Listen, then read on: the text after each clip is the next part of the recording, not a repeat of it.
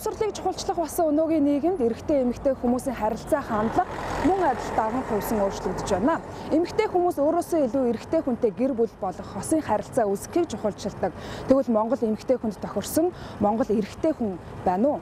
Үндэсний статистикийн хорооноос гаргасан судалгаагаар 5 эмэгтэй хүн дутмын нэг нь буюу 20 гаруй хувь нь дээд боловсролтой харин эрчүүдийн дөнгөж 10% нь дээд боловсролтой гэсэн судалгаа гаргаж ирсэн. Сэтгэл судлалын үндэсний төвөөс ч гэсэн эрчүүд эмэгтэйчүүдээс илүү сэтгэл зүйн боловсролоор хоцрогдож байгаа гэдгийг сүүлийн 3 жилийн судалгаагаараа харагдаж байна. Сэдв 360 энэ удаад эрчүүдийн боловсролын асуудлыг хөндлөө.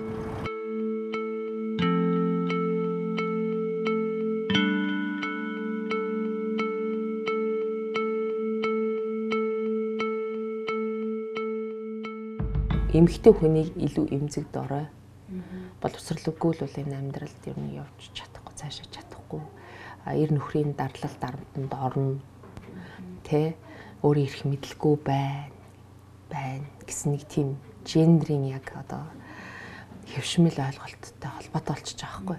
А эрэгтэй үнийг хүүхдийг болохоор юу гэж үздэг вэ гэхээр энэ эрэгтэй хүүхд бол эрэгтэй эрэг зөрөгтэй альч улс орон альч газар оронд очиод амьдарчих нь юу ч хийж чадна тий мундаг лидер тэг бүх талаараа эрэгтэй хүн бол эмэгтэй хүнээс илүү гэсэн ийм гендрийн ийм одоо хөвшмөл ойлголт чи эргээд боловсролын тогтолцоонд буухаараа одоо эрэгтэй хүнд ашиггүй болж бууж байгаа байхгүй. Манай эрчүүд дийлэх тохиолдолд студиудлаа удирдах чадвар нь их бага.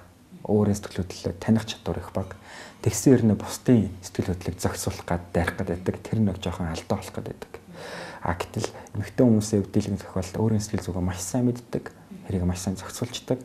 Тэгэнгүүт эргээд өөрийнхөө өдөрч чадахгүй хүнийг тэр хүмүүс яавч одоо сонголтоо хийж чадахгүй шүү дээ. Тийм.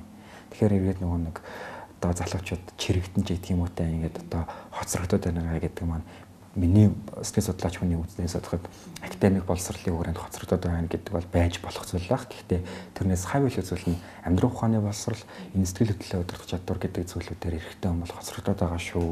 Энэ зүйл дээр илүү их ээж амар анхаарахгүй болвол тэр хүүхд чинь ирээдүйд улс их орныг одоо ямар нэгэн бүлэг зүйлийг удирдах явах хэмжээний шийдвэр гаргах хэмжээний хүмүүс болноо. Манай ирчүүдтэйг одоо үнэхээр бас нэг зарим талаараа бол бараг л энэ архины хэлмэгд үлтэнд өртсөн болоо да. Үүнийг нь одоо төр засаг өнөөдөр анхаарад яг хөө эмгтээчүүд юм байд хайрласаар яваад харин мундаг болгосон биш. Одоо бол бид хэлээд та нар минь мундаг болцсон бол одоо ирчүүдээ эргээд босгоод хэлэлтэй. Боловсрол соёл шинжилх ухаан спортын яамаас гаргасан судалгааг харъя. Цэцэрлэгийн насанд 255720 хүүхэд хүмүүжиж байгаагаас 126610 эмэгтэй 130110 нь эрэгтэй. Харин ерөнхий боловсролын сургуулийн бага ангийн төвшөнд 309355 хүүхэд суралцж байгаагаас 151325 нэмэгтэй 158030 эрэгтэй хүүхэд суралцж байна. Дунд ангид 176210 хүүхэд суралцж байгаагаас 87000 гаруй нэмэгтэй 88000 гаруй эрэгтэй хүүхэд байна. Судалгаанаас харахад боловсролын салбарт эрэгтэй эмэгтэй хүүхдүүдийн тэгш харьцаа цэцэрлэг болон ерөнхий боловсролын сургуулийн баг дунд ангид ажиглагдаж байна.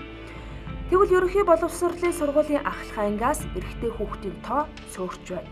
Энэ илэрлэл нь ч гэсэн ихтэй сургуулиуд дээр октод давмгаалах байдлыг харуулж байгаа юм а.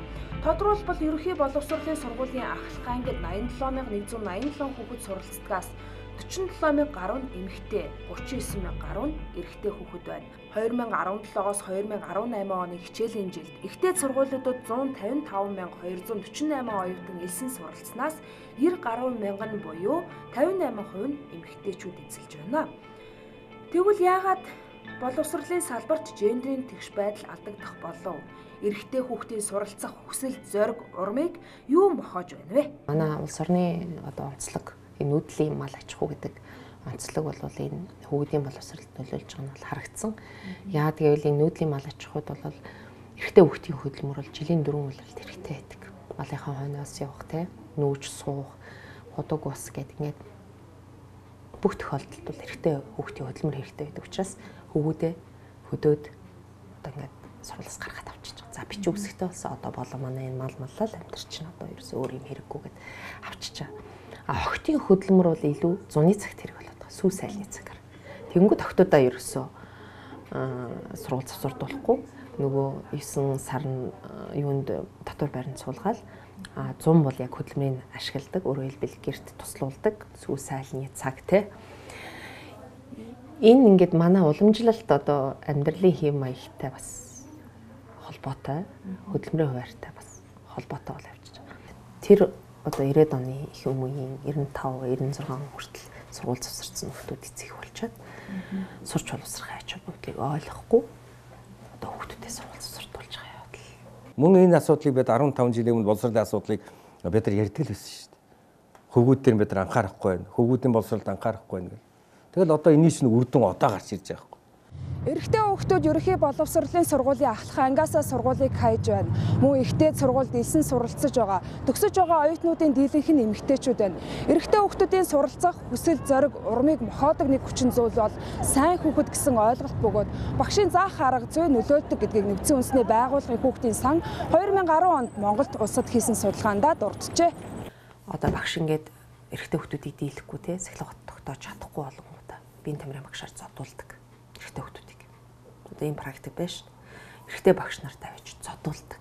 Гэх мэтлэн одоо энэ сургуулийн одоо э, хэмжээнд сахилга тогтоох арга барилаа өдөө болтол олж чадахгүй хуучны л нэг ингэж нэг диктатур гэж хэлдэг ингээд дарангуулдаг хүчрэлдэг те энэ одоо арга барилаасаа салахгүй байгаа нь хөгөөд гүждэг дургуутдаг. Тэр ихтэй агштай тангараг тасардаг тэр эмэгтэй агштай тангараг тасардаг. Шууд сургуулийг хайдаг. Одоо ийм асуудал байна. Хамгийн анхаарал төвхөр тэнд хүүхэд юу сурж ийн вэ? Тэр сурсан зүйлээ амьдрал дээр хэрэгжүүлж байгаа мó гүм үү?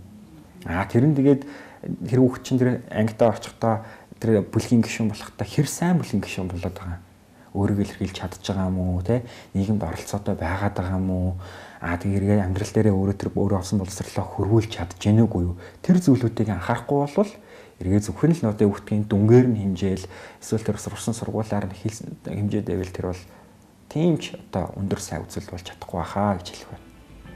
Эр хүн эр хүндээ хайртай байдаг гэсэн яриа байдаг. Төр засаг удирдах албан тушаалд эрэгтэй хүмүүс ажилдаг хэрнэ. Тэд эрчүүдийнхээ боловсролын төлөө яагаад дуурдаггүй юм бэ? Монгол эрчүүдийн боловсрол яагаад ингэтлээ хаягдах болов? Боловсролын яам энэ асуудал дээр ямар бодлого баримталж байгааг сонирхлоо. Монгол улсын нэгдээ сургуулиудын эсвэлтийн бодлогод одоо тэгш байдлыг хангах агуулга гендерийн мэдрэмжтэй болгох талаар судалгаа хийлгэсэн. Судалгаа хийлгээд тэр судалгааны одоо маш том баг ажиллаад тэр хүмүүс биднэрт бодлогын зөвлөмж гаргаж одоо өгч байгаа. Зөвлөмжийн төсөл нь бэлэн болцсон. Бид нар тэндийн одоо хэд хэдэн удаа уулзаад саналаа хэлсэн. Одоо энэ 7 хоногийн сүүл дараагийн 7 хоногт албан ёсоор зөвлөмжөө маань манай яамд хүлээлгэж өгөх гэж байна. Тэгээд энэтэй уялдуулаад энэ дээд боловсролын шинжилгээний төсөл гэдэг маань Монгол улсад одоо дөрөв дэх жилдээ хэрэгжиж байгаа төсөл юм байна. Энэ төслийн нэг эндээ бүрэлдэхүүн хэсгийг тэр чигээр нь гендерийн эртгэж байдлыг хангах тийм бүлэг болгож оруулж өгсөн. Ерөөсөө Ягаад тэгэхээр саяны статистик тоонуудаас харахад ерөөсөө манай баланс бол дээд боловсрол сургуулийн ахлах анги дээр алдагдаад байгаа. Тэгэхээр ахлах ангиас нь эхлүүлээд хүүхдүүдэд мэрэгчлээ яаж зөв сонгох уу?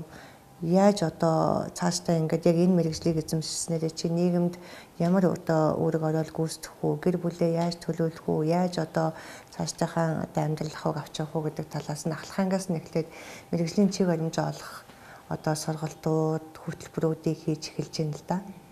Тэгэхээр ирчүүдийг дэмждэг тийм одоо энэ их хурлын гишүүн гишүүн би сонсоогүй юм байна. Намайг дуудаж уулзаад ирчүүдээ яах вэ гэж ярьж ирснийг бол сонсоогүй юм байна. Ягаад гэвэл эр хүн гэхээр л нэг хад чулуу шиг нэг эр хүнийг ойлгож байгаа ойлгож чинь өөрөө ширүүн байна шүү дээ. Эдгээр бол дайнд хамгийн түрүүнд яваад өгч байх ёстой. Эдгээр одоо малт хамгийн яваад зуданд одоо хөлдөж өгч эр хүн учраас. Гэтэл яг амьдрал дээр яг л адилхан л байдаг. Эрэгтэй эмэгтэй хоёр хүн чинь энэ сэтгэл гэж эрэгтэн байгаа шүү дээ. Нулимс гэж юм бидэнд байгаа шүү дээ. Хайр гэж юм бидэнд байгаа шүү дээ. Тэгэхээр эрчүүдийг үзэх хандлага л өөрчлөлт